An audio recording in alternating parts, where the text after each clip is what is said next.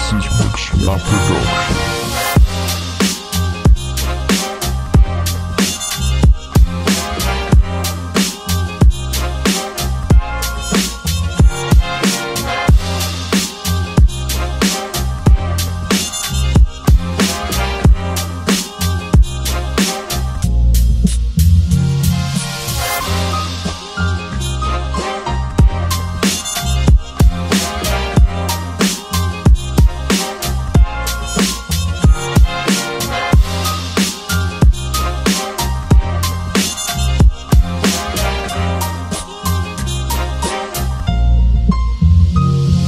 This is Mixla Production.